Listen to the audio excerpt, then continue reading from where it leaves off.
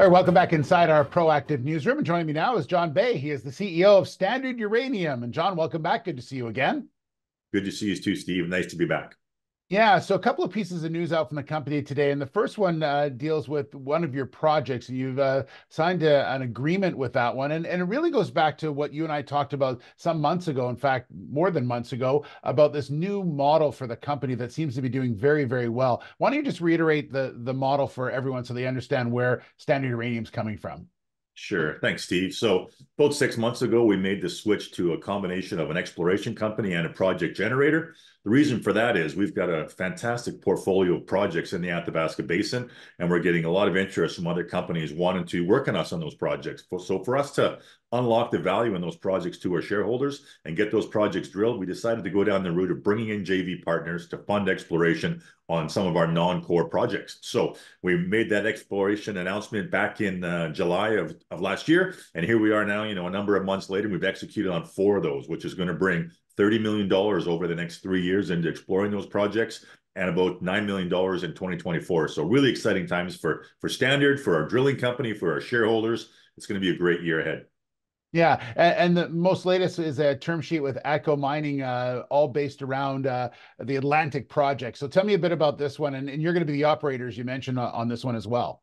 Yeah, so Atlantic is the project that we just did this deal on with ATCO. It's great to get ATCO involved. Um, this one is pretty exciting because it's been happening behind the scene for a number of weeks now, trying to push this forward. We finally got it done on Friday, and the plan is to actually be drilling this project in about possibly in, as fast as two weeks from now. So we've got our drillers lined up, ready to roll. We have to, of course, get the definitive agreement signed in the next week and then mobilize everyone and get things going. So heading to the PDAC, we'd like to be presenting at the uh, Red Cloud pre-PDAC event at the end of February and talking about drills actually turning at the Atlantic project, which is quite possible.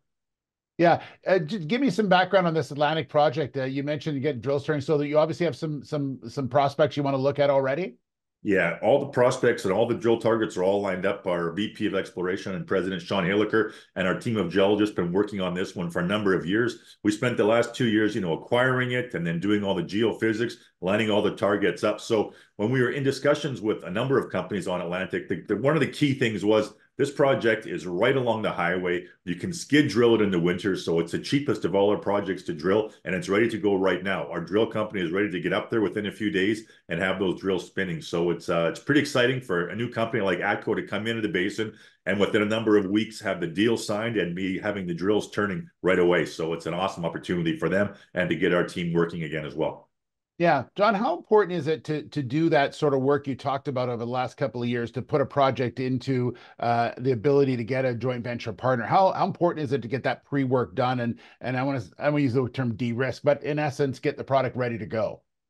Well, I think it's uh, you know it's pretty evident to a lot of people sort of watching the standard story right now, what we have accomplished in the last number of months. It's not something that we just started from scratch four months ago. It's something we've been working on for a number of years now. We started this company six years ago, went public in 2020, and we've been advancing these projects, staking them and advancing them with First Nations agreements, all the permits in place, lining up all the vendors, getting to know those vendors and build those relationships, and then have the, all the targets lined up and ready to roll. So when we were in discussions with a number of companies looking at our project projects for them to be able to come in and see that all these boxes are checked off and all they had to do is show up with good people and the ability to have capital and raise future capital it made these deals very quick to exercise and uh, to execute sorry and actually to be able to move forward knowing they could be drilling this year right away with everything lined up all those boxes checked so uh, there's a lot of work behind the scenes to get them to this point but for companies coming in to meet with us now, it's it's amazing. And this is why you're seeing Standard ahead of so many of our peers getting deals done quickly and getting the drills turning this year.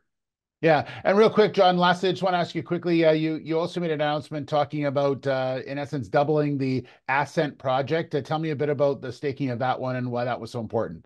Yeah, so as you probably are aware, Steve, Steve, uh, you know, getting any projects in the Athabasca Basin is extremely challenging right now. So whenever there is a staking announced, uh, there's a number of companies like online trying to hit the keyboard as fast as they can to acquire projects we're very um, specific as to which regions we go after and what projects we want to add to. And Ascent is one that we've been trying to wait for that opportunity, and it came up and we jumped on it. So, you know, we've doubled the size of the Ascent project, which is unique because that one is currently under, uh, you know, a term sheet right now. We're hoping to get that to a definitive in the next few weeks in February, actually. So the company that we're, you know, working on behind the scenes is really excited to see that that size uh, double of that project. And hopefully, uh, you know, we're going to see drills turning in probably in May, June on that project as well. So look, the Ascent added on. We just also added on Harrison in the last news release. So we now have 11 projects in the basin. Uh, we're going to continue to work all of our projects and hopefully um, either do deals on the ones we're not going to work ourselves or potentially add, add a few more this year. All right. It's going to be a busy one. Jon, thanks so much. Great to see you again. You too, Steve. Thanks again for sharing the story. And I look forward to giving an update in the near future. All right, we look forward to that as well. Jon Bey, the CEO of Standard Uranium.